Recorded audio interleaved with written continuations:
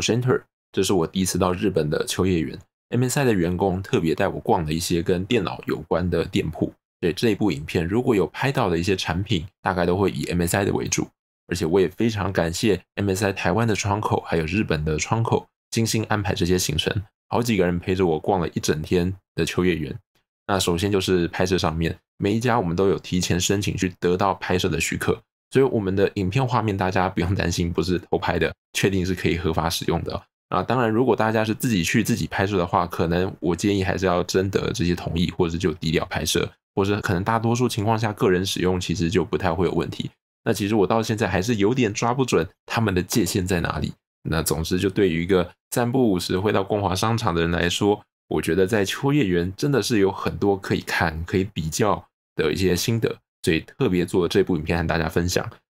以台湾的店家来说，主机板还有显卡通常都是盒装嘛，然后放在架子上，然后通常就是秀出盒装的侧边，就显示出一点点型号这样子。那通常也是放在柜台后面的架子。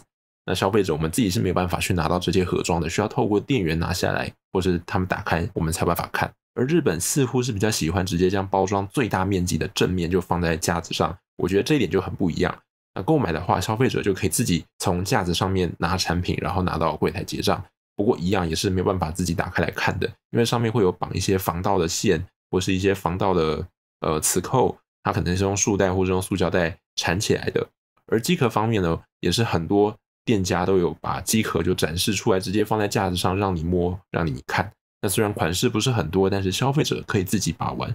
台湾有展机壳的店家也蛮多的，然后款式也很多。不过通常都是放在后面的架子，然后前面是有柜台，所以我们一般是没办法直接去摸到的，都必须透过店员。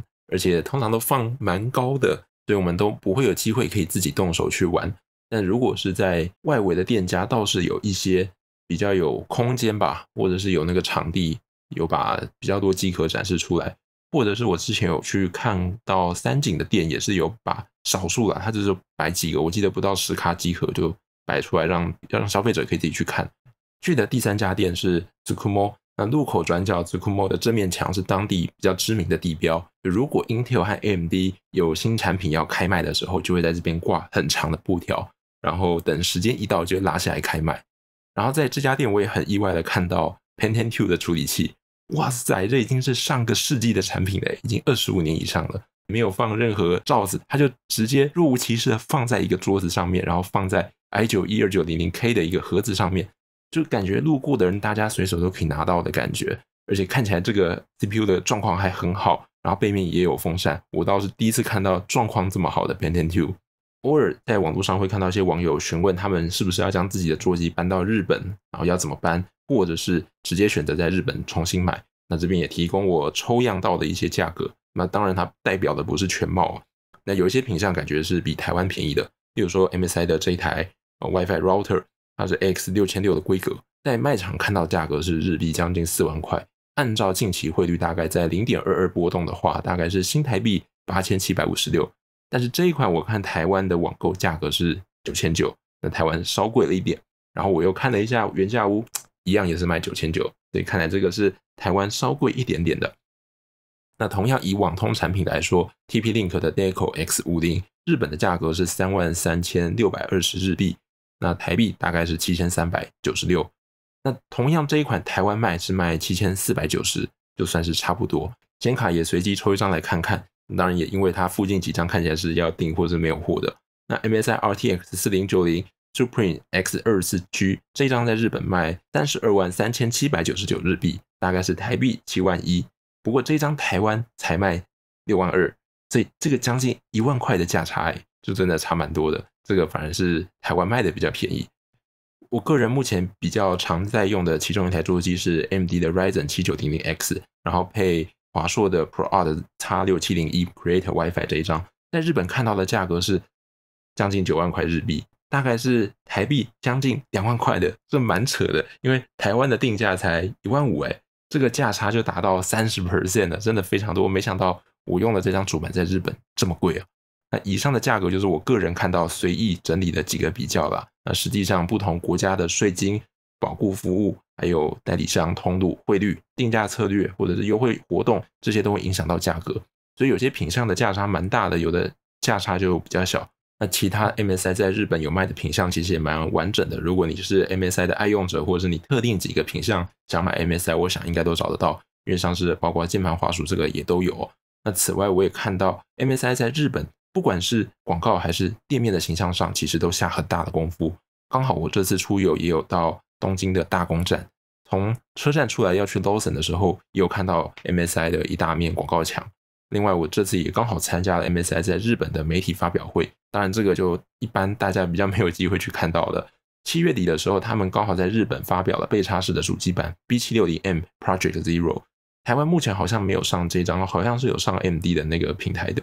不过我印象啊，这个 Computex 好像都有看到，在日本的这场媒体发表会是 MSI 联合呃其他组装机的厂商一起合办的，所以就会看到 MSI 的主机板，但是搭配的是其他品牌的显卡、机壳等等。那其他零组件就不一定是都是 MSI 的，那主要就是展示这张被插式的主机板。整体来说，就是日本组装电脑的风气并没有像台湾这么普遍，所以。在日本，大家比较会买整机，而店家也跟我们比较不一样。在台湾，通常我们选好零件，当天就可以组装好了。不过在日本，就要等上几个工作天。所以我也听到 MSI 他们分享，其实他们花了很多心力在推广电脑的组装。例如，他们就有到中学去教导有兴趣的学生组装电脑，然后让组装这件事情可以在日本普及，可以年轻化。而且随着 AI 的兴起，电脑可以做到的事情已经上升到一个新的高度。也借由这样的活动，可以让更多的使用者了解 MSI。了解自己需要什么样电脑的规格。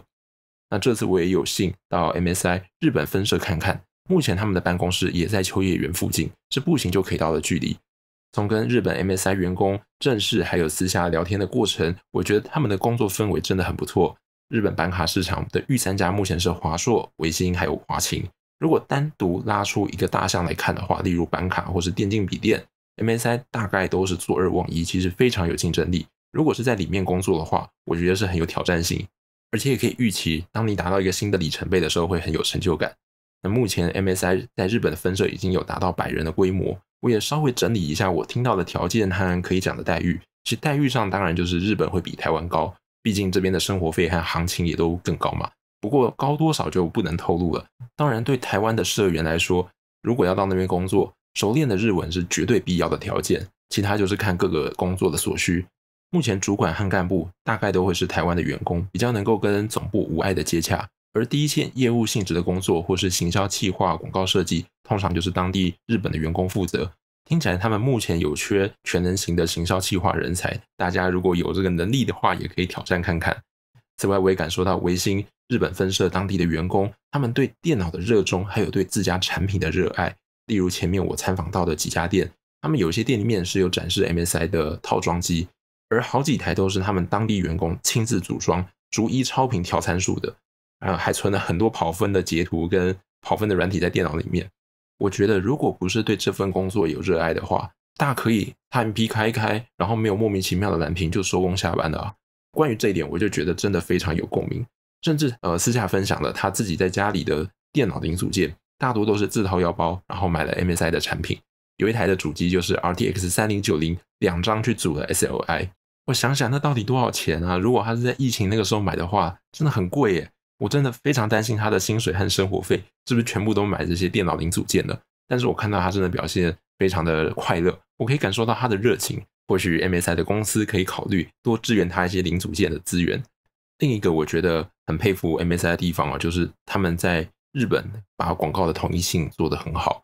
作为一个经常开箱产品，所以我们会经常大量接收到厂商广告刊物的人来说，第一眼就可以感受到 MSI 在日本的广告上面的风格是有非常完整的一致性，就看得出来它跟台湾的也不太一样。那我觉得这样才有更有效的去吸引日本的玩家。以上就是我在秋叶原以及日本 MSI 看到的心得，可能资讯上是比较零碎的，等于我也是第一次尝试做这样的主题。如果大家有什么建议或者是好想法，也欢迎告诉我。邀请您按赞、订阅、分享。Enter Box，我是 Enter，我们下期再会。